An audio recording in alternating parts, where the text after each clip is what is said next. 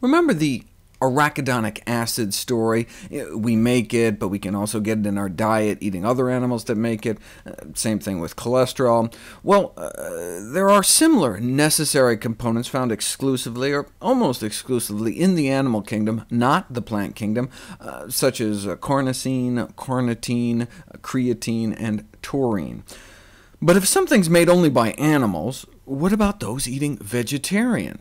Thankfully, Vegetarians are animals too, so they make it themselves.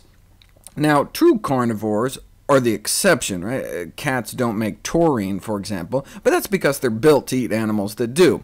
But humans produce all these compounds on their own, unless they have some rare genetic inborn error of metabolism birth defect there is actually a hereditary disease that may affect as many as 1 in 40,000 births.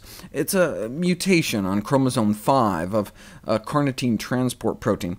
They actually make enough carnitine, but because of the birth defect end up peeing too much out, and so develop a carnitine deficiency.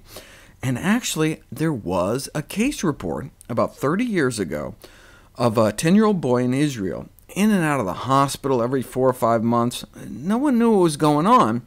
The clue only came when he decided to go meat-free, and that made things worse. Then he started uh, you know, having attacks every three weeks.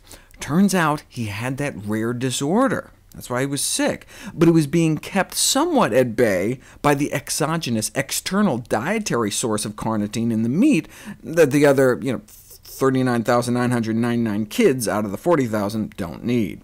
He stayed vegetarian, but they gave him high-dose carnitine supplements, and at the time of the report he was 12 and completely cured.